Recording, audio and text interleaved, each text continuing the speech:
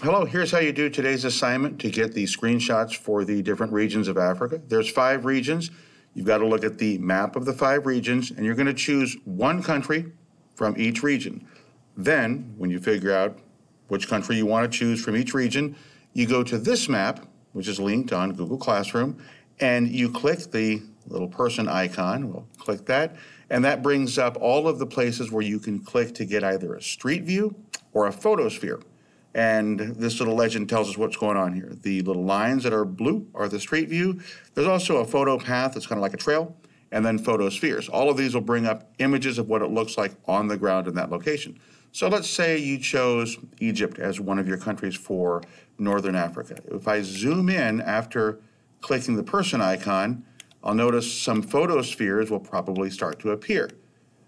And any photosphere that I click on, I'll click on this one here, will take me right to what it looks like on the ground. And then I can rotate this to get whatever image that I like if I want to use this for my screenshot. And then I do the little process on Chromebook and get the screenshot. If I don't like this image, I just click this little arrow up here on the top left and back out, and I can choose a different one. So I can go down here by this little reservoir and see what is here. And I might use this one here. It's a pretty neat little place. So you can choose whatever images you want. The only thing that's very important is that the images are outside, that they show what it looks like in the land or in a city or something where people are. Some of these images will literally take you into an office building or a house or whatever.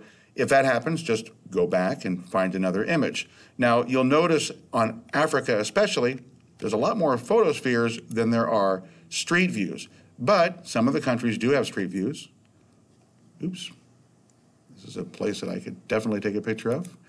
And these places here with these lines. So we'll click in Ghana. So this would be a street view image of what it looks like in Ghana. And street view, you can click on the street and move along.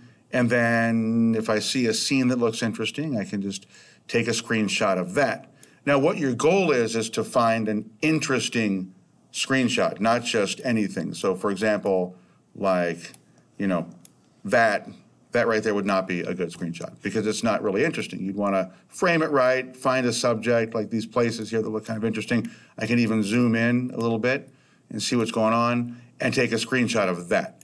Now, once you do that, you also need to figure out exactly where that was, which country that was in. So pay attention to where you're clicking so you know which country you are looking at. Pretty simple. If you have any questions, let me know.